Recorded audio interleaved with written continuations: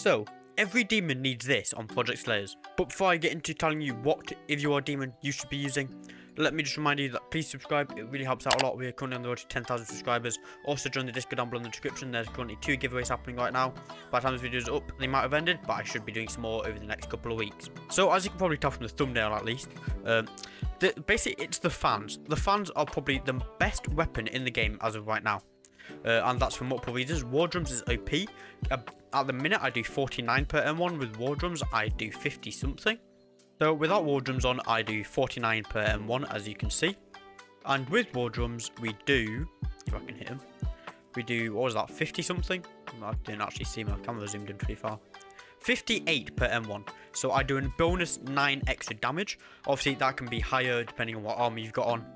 Uh, but that is what War Drums does. It also increases your speed. It gives you a nice, nice speed boost. I think gives you about 42% or something like that. gives you a mad speed boost. And it also comes with War Tornado, which is a really, really OP move. At the minute for me, it's doing 33 per M1 without War Drums activated. Just really OP, it's got massive AoE, got pretty long range. The fans are some of the best weapons you can get, especially as a demon, because these are only available to demons. So I know you've been out for a while, you might have been, I don't know, gotten a scythe, gotten fans, whatever. If you went for fans over scythe, then change your mind, go for fans, they are way better than scythe, at least for PvE. For PvP, uh, scythe is better, but for PvE, uh, fans are better.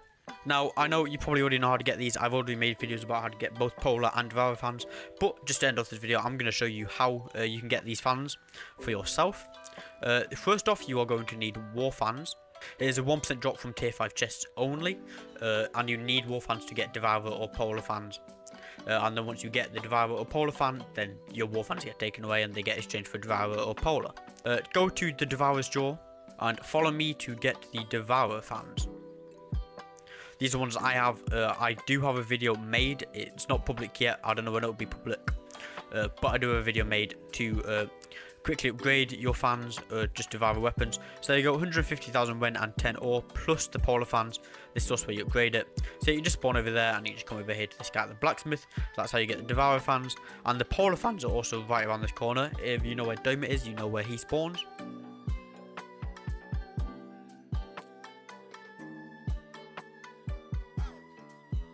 So this is where Doma spawns. He has been killed. He's still got 9 minutes left. Uh, but if you go right into this room here, you will get the polar fans. As you can see right here, for 150,000 Wen and 10 ore. So it's quite expensive, but definitely, definitely worth it. Definitely go for fans over Scythe if you were just starting out playing this game or whatever. Go for fans before you go for the Scythe.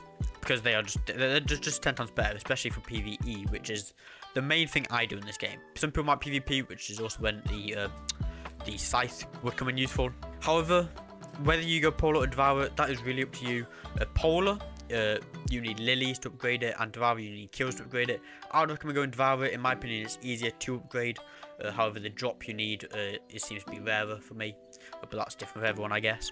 But that's this, just this quick little video of how to get these fans, uh, just that, that, you should get these fans. I've already made videos of how to get them. I'm just letting you all know that you should. Uh, this game's been made so much easier with them. They have a much higher M1 scaling than um, than fists. So uh, if I just go and find an NPC real quick. Okay, so both my fist and my war fans is at max mastery. My fists do 37 per M1 and the fans do uh, 49 per M1 as you saw before. Let's just go and double check that. There you go, see 49 per M1 uh, instead of the 36. I've already forgotten what it was, so I think it's 46 or 36 even.